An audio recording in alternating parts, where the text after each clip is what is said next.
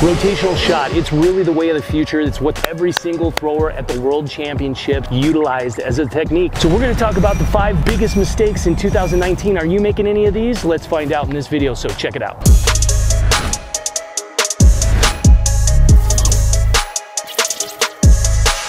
Everybody, it's Eric Johnson from Arete Throws Nation, and in this video, we're gonna talk about the top five distance killing mistakes that we saw in 2019 for mostly young throwers. And that means coaches need to be helping these young throwers, and young throwers need to be learning what these things are. Let's start with item number five. The thing that we saw the most common is that when people start to rotate and learn the shot, they wind the shot.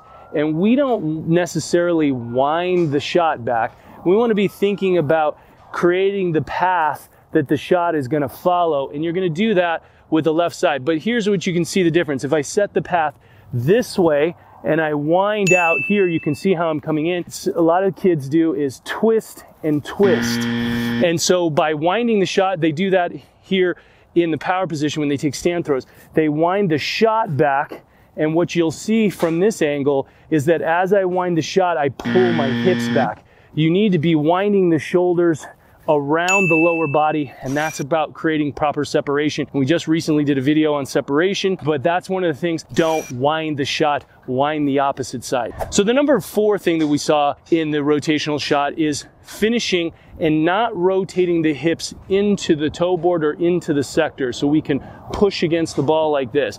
What we see is too many people stopping the hips and punching like this. And what we want to understand is how we actually engage the block and have the delivery side coming through. One of the big mistakes is throwers coming out, like you said, is they come here and then they just think I got to hit and they're moving forward too early instead of rotating the delivery side through and punching this way to get that nice big rotation and extension over the toe board. So the number three thing that we saw that was most common is not understanding how to rewrap. Many throwers, the problem you have when you're throwing the discus or the shot, they start throwing one like the other. And what we tend to see with a lot of our shot putters is the rewrap is incorrect. So it's either too early or it just doesn't seem to really happen. So again, we want to avoid that we're make sure that we're not too open and that's going to just create too much shift off. And what we're gonna see is we wanna make sure that we don't wrap too early. We see a lot of people doing this and then they're wrapping and you're gonna notice that cuts me off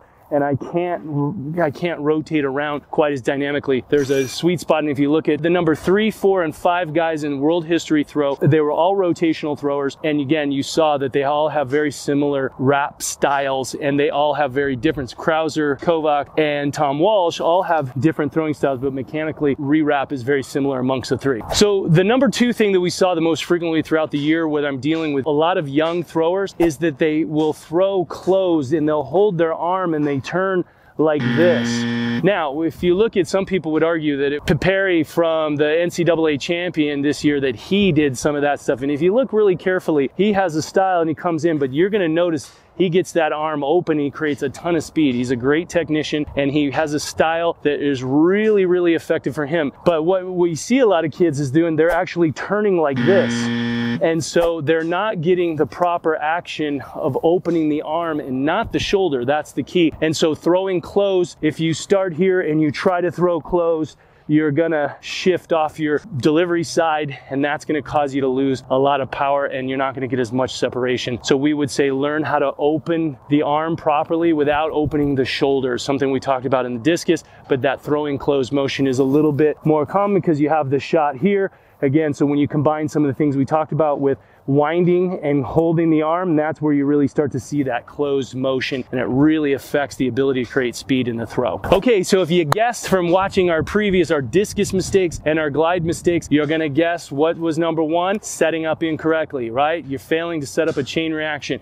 And we see so many throwers doing so many different things and we see this type of thing and we'll see the arm folding across and too far of a wind and they're losing separation. Or what we're gonna see is when they set up and you're watching videos of guys bending over, what they'll do is they'll actually push the hips too far and they're here, they're not actually paying attention to the path of the knees and the shoulders and having that connection that gets you around. Again, if you look at the top four guys in the world this year, you're gonna notice what I said. It's the knees are on top of the toes and the shoulders over the knees. A real simple tip. How do we train all these positions? That's what we have inside the throwing chain reaction system. Yes, again, the goal is to help more people focus on the right things instead of spending a lot of times just trying to piece it together. We put these videos together so that we create clear understanding of what you should be doing. And then how do you break it down and how do you apply drills and how do you train positions and how do you connect all the positions so that you have the right rhythm, timing, so that you put together one fluid motion that's going to create continual acceleration until the release of the implement. That's what the system's all about. But check out our free mini course, comment below on something else you'd like to see,